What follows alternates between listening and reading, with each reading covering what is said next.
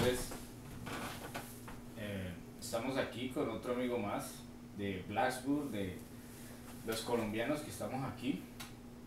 Y pues queremos empezar una serie de videos con todos los amigos y las personas allegadas para que nos cuenten sus historias de vida. Tenemos aquí a Daniel Chuquín, Daniel Chuquín de Bogotá. de Bogotá. Ok, Daniel, cuéntanos por favor a, a todas las personas que puedan ver este video. Eh, ¿Cómo empezó tu vida en Colombia? ¿Qué hacías en Colombia? Bueno, yo, yo nací en Bogotá. Eh, mi papá era director de Visión Mundial Colombia. Eh, y bueno, tengo tres hermanos, una hermana. Vivíamos ahí en Cerritos. Cerritos. Ya. Eh, no una casa sencilla, pero bien, mi papá tenía buen trabajo, tenía mucha responsabilidad y le dio con todo, eh, trabajando para lo, en todo lo que él creía, pidiéndole a la gente, con todo. Y yo estudié ahí en Bogotá, en el Colegio de Inglaterra, una escuela privada, pero también una buena escuela, es donde me- me mandó la mamá, la mamá, mi mamá es, eh, es americana Sí. y ella, bueno, mis papás se conocieron acá en los Estados Unidos. Mi papá tuvo una beca eh, para estudiar matemáticas y bueno. jugar fútbol y se mudó acá, a Carolina del Norte, donde conoció a mi mamá, se enamoraron, volvieron a Barranquilla eh, y ahí empezaron con la familia y después se mudaron a Bogotá cuando mi papá consiguió el trabajo, trabajo para Visión Mundial. Y no, pues él empezó enseñando matemáticas y obviamente quería hacer más. Empezó la vida de los de mi familia directa de los Chuquín. Y bueno, mi papá creció en Cachipay, un pueblito ahí todavía en Cundinamarca, sí. cerquita de Bogotá. Siem- siempre ayudándole a la gente, haciendo todo en- ahí en la granja, como que quería regalando fruta, Qué bueno. siempre. Y yo todavía sigo, vuelvo y hago lo mismo. Eh, todavía tenemos es- esa finquita, esa, ese pedacito de tierra que es hermoso y, Sí. y pagar, pero no, así fue. Qué bueno. eh, cuéntanos por qué viniste aquí a Estados Unidos. Bueno, lo que sucedió fue que el trabajo que tenía mi papá eh, como director de Visión Mundial, bueno, eh, es un trabajo duro porque cuando uno empieza tratar de cambiar la mentalidad de la gente en un pueblo, siempre hay alguien que está tratando de manejar a toda la gente Sí. y bueno, llega a crear muchos problemas. Y obviamente eh, problemas, eh, no sé, a veces terminan con balas. Y, Sí, sí, sí.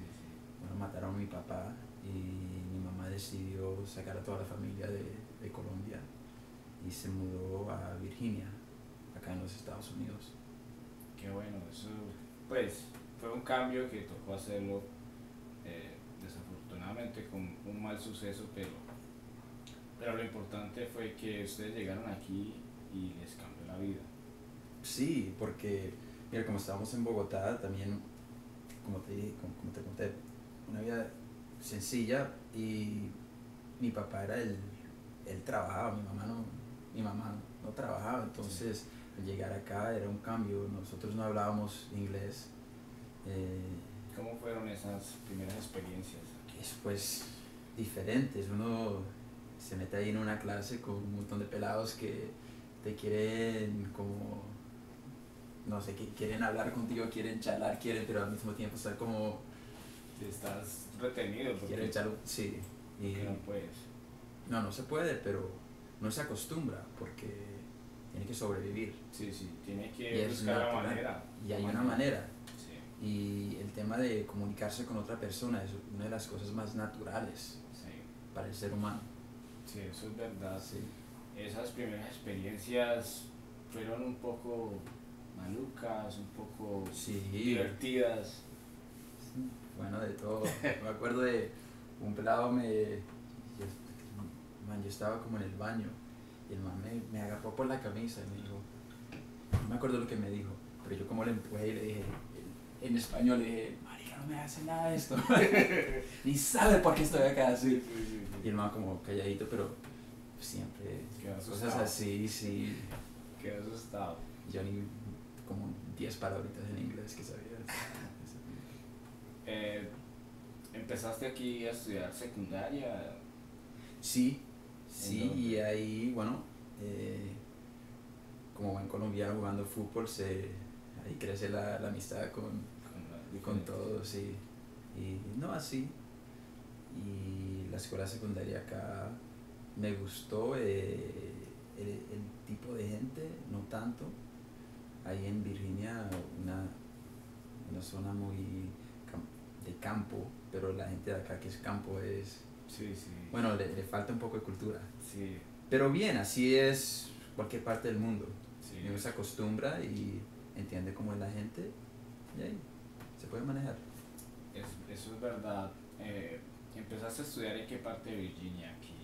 En la costa de Virginia, una península, ahí, ¿cómo te diré? Zona de, de agricultura. ¿Estuviste allí todo el, toda la secundaria? Toda la secundaria, sí. Ya. ¿Y decidiste empezar la universidad aquí en Virginia Tech o...? No, yo estudié eh, en una universidad que se llamaba Randolph Macon, y donde estudió Pablo también. Y fui ahí a una beca, y una beca académica y también para jugar fútbol. Qué bueno, siempre el, Y el eso- tal- el talento del fútbol. Siempre, siempre, siempre, siempre ayuda. Siempre un talento. ¿Y Sí. decidiste estudiar en esa universidad? ¿Qué? Yo entré con la idea de ser médico, Ya. pero tuve la oportunidad de escaparme con unos amigos, hacer un trek y fuimos a acampar en una montaña en West Virginia. Y me enamoré con, con el ambiente, con la tierra. Sí. Y decidí que, bueno, obviamente como mi papá siempre ayudaba a la gente y todo eso, es algo que yo lo, yo lo hago pero naturalmente. Sí. decidí que mejor era estudiar lo que se puede hacer para ayudar a la tierra y pensar en todo, todo el daño que le, ha, que le ha hecho la gente a la tierra y todo eso, el ambiente y cómo se puede Mejorar. mejorar, trabajar con ese tema. Y, eso, y empecé, entonces estudié eh, ciencias ambientales. Eh, hiciste toda la universidad allí y viniste aquí a hacer un máster. Sí, antes de venir, venirme acá trabajé por como dos o tres años eh, con una sí, consultoria, ¿no? Sí.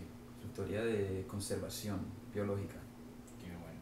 y tuve la oportunidad de trabajar en proyectos que cambian, eh,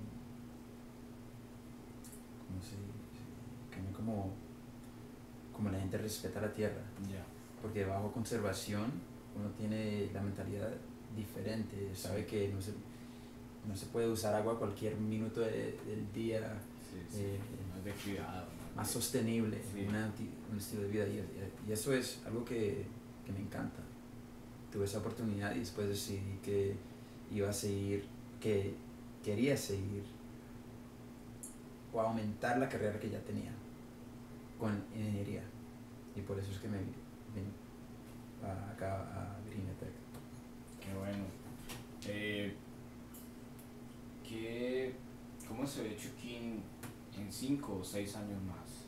Eh, trabajando fuertemente. Sí, bueno, yo apenas estoy acabando, terminando con la maestría acá y he conseguido un trabajo ahí donde, en la costa de Virginia. Y tengo la idea, es un trabajo, en, mi opinión, bacano. Sí. Y voy a ganar la experiencia de trabajar en proyectos que son parecidos a lo que, se, lo a lo que yo pienso que se puede hacer en Colombia. Entonces, entre los próximos tres o cuatro años, voy a quedarme ahí ganando esa experiencia. Y mientras eso, eh, ahorrando la plata para empezar a construir una casita en Cachipare, En, en el Y- mismo pueblo. el mismo pueblo. Ya te- tenemos ahí todavía eh, en la familia la tierra y me encantaría volver ahí y trabajar con la alcaldía o o cualquier grupo que tiene el mismo interés y donde puedo compartir la educación que yo ya, que yo ya llevo para ayudar a, a la tierra, como dije, o al ambiente, o a la gente también, porque la verdad es que si uno ayuda a la- al ambiente, naturalmente va a ayudar a la gente. Claro. Eso, eso es una realidad y que es algo que, que debemos implementar en este Sí. tiempo, ya que hemos dañado mucho el ecosistema y muchas cosas. Verdad, verdad. Bueno, Y todo, todo esto fue parte por, por becas y Sí. Nada más preguntando. Por ejemplo, cuando yo, cuando yo estudié en Randolph Macon, yo siempre preguntaba, eh, mira, vi esta oportunidad de estudiar en, en Costa Rica. ¿Hay beca? Sí. Y apliqué y así. Entonces, sin gastar prácticamente casi nada, eh, estudié en Jamaica, Costa Rica, ¿dónde más? En Irlanda. Todo por beca, todo por, por aplicarse, por Sí. preguntar y mostrar que, que yo era capaz de, bueno, de, de aprender y Eso es una, un problema que tenemos nosotros en Colombia que no, no vemos más allá de lo que hay en Colombia. No, no creemos que existen esas becas y que muchas se pierden. Esas becas se pierden porque no hay personas que apliquen, no hay personas que averigüen. Y tú lo hiciste y has estudiado gracias a becas. Todo ha sido Sí, becas. todo becas. Tengo un poco de préstamos que me toca pagar, obviamente, pero Sí. es poquito. Sí. Y bueno, para, para ganar la experiencia y estudiar es necesario, pero no, esa es una oportunidad que cualquiera persona tiene Sí. y merece. Sí, claro. Y la verdad es que sí, en, en Colombia no hay muchas becas, No. pero acá en los Estados Unidos sí hay. Sí hay. Sí, eso, eso es verdad. Solo es de- eh, dedicar un rato a buscar, aplicar y ya, hacer el contacto aquí. Hacer el contacto con, la, con el college o la universidad y aplicar. Y Eso es aplicar. todo. Sí, Eso es todo. No hay nada que perder. Eso, eso es todo y, Sí. y hay que hacerlo. Hay que hacerlo porque muchas se pierden, muchas, muchas becas se pierden porque no hay quien, quien las busque, quien aplique, quien haga. Y no es decir que, que uno no puede, bueno, seguir en, en su propia vida haciendo lo que le gusta, pero o sea, hay otras cosas que uno no conoce, ¿por qué no preguntar? ¿Por qué Claro. no averiguar? A ver si, si, por ejemplo, si te gustan los, los insectos y quieres estudiar algo de, de las hormigas, algo tan, tan simple así. Y aquí se, Se puede puede, aquí se puede hacer y le van a dar una beca. Eso, eso es verdad. Eh, cuéntanos ahora cómo está tu familia aquí. ¿Están contentos aquí tras del cambio, tras de todo lo que pasó y ahora tienen una nueva vida? ¿Qué piensan ellos? Bueno, de, de mi hermano mayor y prácticamente mi hermano mayor, como dije, dice mi primo, se agringó. El man se, ya, ya- ya se casó y es gerente de una, de una clínica.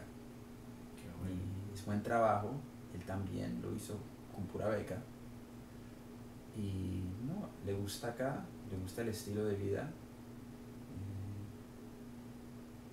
No, es como, como yo, como a mí me hace falta la, la cultura colombiana. Yo vuelvo a Colombia, toca ahorrar un poco, pero trato de hacerlo cada año. Claro. Y como te dije ahora que, voy a, que conseguí trabajo, voy a volver como dos veces al año, algo así, para empezar con esa casita, quedarme con la familia ahí.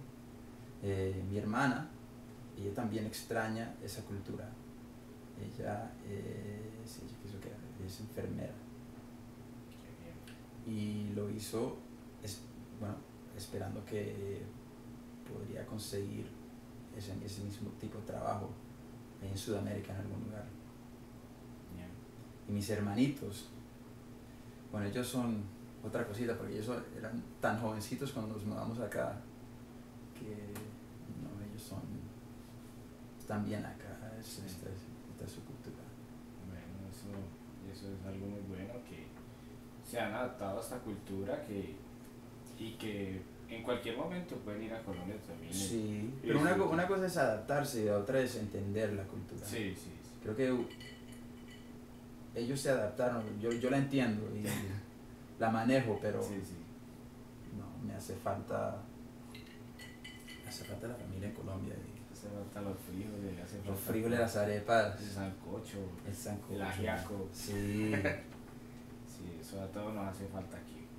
Bueno, viejo Chucky, yo le agradezco por este momento, le deseo lo gusto. mejor en su nuevo sitio, en su nuevo trabajo y para adelante.